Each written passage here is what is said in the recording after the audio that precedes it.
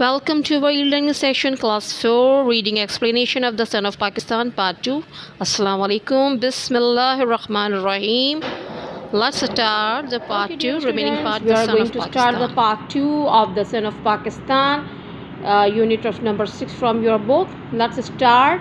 You must have pencil with your hand and take out the page number 65 and read with me.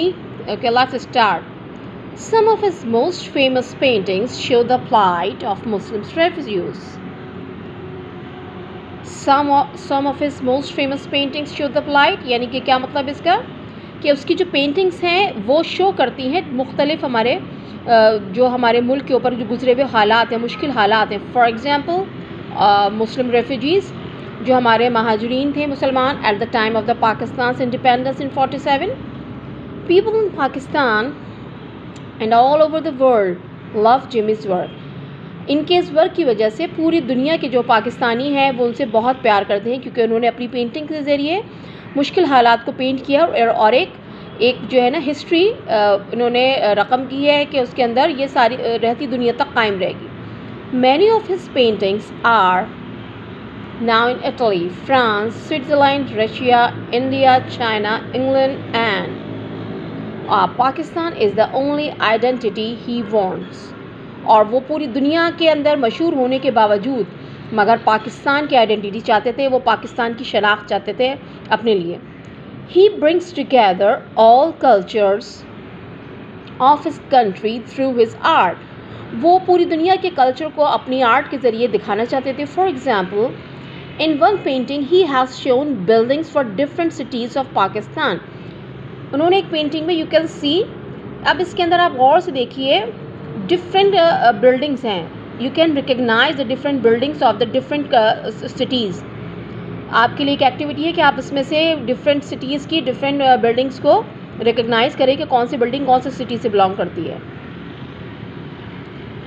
I have always asked a question if different architectures can gather at one place, why can't people? He says.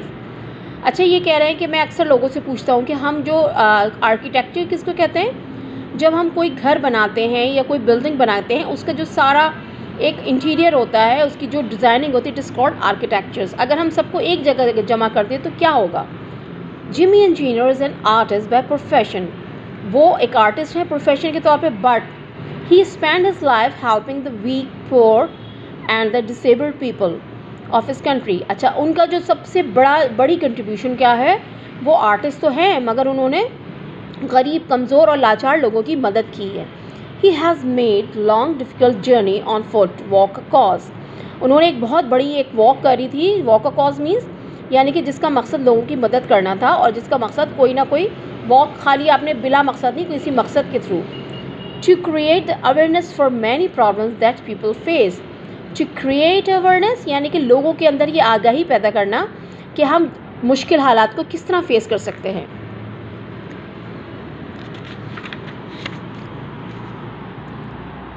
The money that he earns from selling his painting spent on helping the needy this is what gives him satisfaction उन्होंने जितनी भी पैसे earn किए, अपनी paintings को cell करके और किस पे उन्होंने खर्च किए? नीडी पीपल के। ऊपर नीडी मीन्स ज़रूरतमंद। This is what underline this word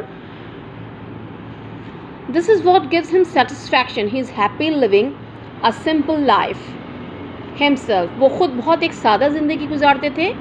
Jimmy has created more than two thousand paintings and more than one thousand calligraphies उन्होंने टू थाउज़ेंड के करीब पेंटिंग्स बनाई और वन थाउज़ेंड के कैलीग्राफिस कैलीग्राफिस किसको कहते हैं? जिसमें हम अल्फाज के ज़रिए कोई ना कोई मैसेज देते हैं या अल्लाह ताला के नाम लिखते हैं।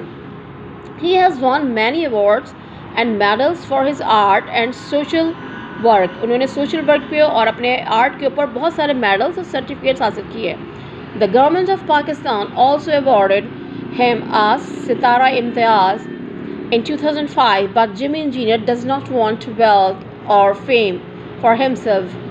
Like his art, he simply wants to spread his love for people. उनको सितारा इम्तियाज़ भी दिया गया पाकिस्तान की तरफ़ जो मशहूर लोग होते हैं, जिनकी कोई कंट्रीब्यूशन होती है, उनको हुकूमत की तरफ़ से एक एक तमगा दिया जाता है, जिसको सितारा इम्तियाज़ कहते हैं। उसमें फ़नकार होते हैं, उसमें बहुत सारे सोशल वर्कर्स होते हैं, मगर उनको फ़ेम की ज़रूरत ही नहीं थी। वो बहुत सादा ज़िंदगी गुजारना चाहते हैं। उनका मोटिव ऑफ़ लाइफ क्या है? Spread is love for people लोगों के लिए प्यार बांटें। और आपने भी यही करना है हमें किसी के लिए तकलीफ़ और दुख का सबब नहीं बढ़ना है लोगों के लिए प्यार बढ़ना। है this is the message of this chapter